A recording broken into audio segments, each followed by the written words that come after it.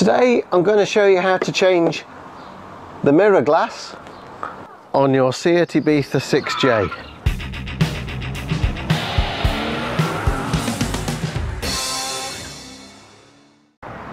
On the inboard bottom corner, gently push the mirror in. Pushing the mirror in in that corner brings it out in this top outer corner. Now with your trim removal tool, fit the curved end behind the top corner of the mirror, gently lever it outwards until it snaps off. It feels a bit brutal, but that's how it's done. And there's the mirror with the with its plastic backing and what you were doing was putting your removal tool behind that and pulling that out. Here's your electrical connections for your heater. Press down where the electrical connection connects to the heater itself and gently waggle and pull the terminal off. Same on the other one. The reason for doing that is that if you simply pull on the terminals, you could rip that terminal straight out of the uh, heater board.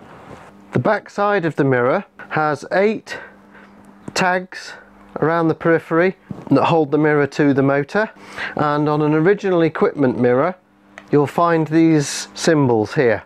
That one is the manufacturer, that one is see it You should also see a label with a part number in that format. If you want to test a mirror heater to make sure that it's working properly, connect your ohm meter to the terminals of the heater or on a, on a range read that will read at least 20 ohms and you should be reading something in the region of 5 to 8 ohms depending on exactly which model of car you're measuring. Personally I think every uh, automotive DIYer should have a, a multimeter of some sort. I'll put some links in the description to some meters. To put the glass back in place, reconnect the heater terminals, make sure that they're properly home. Polarity doesn't matter, so it doesn't matter which wire goes to which terminal.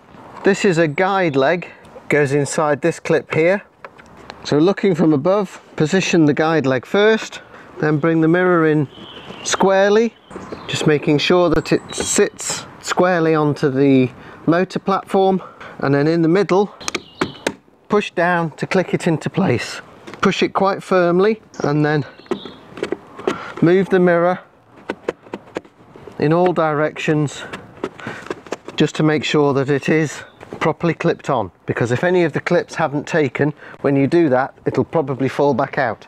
If you got value out of this video please go down next to the title give the video a like leave any comments you've got and I'll see you next time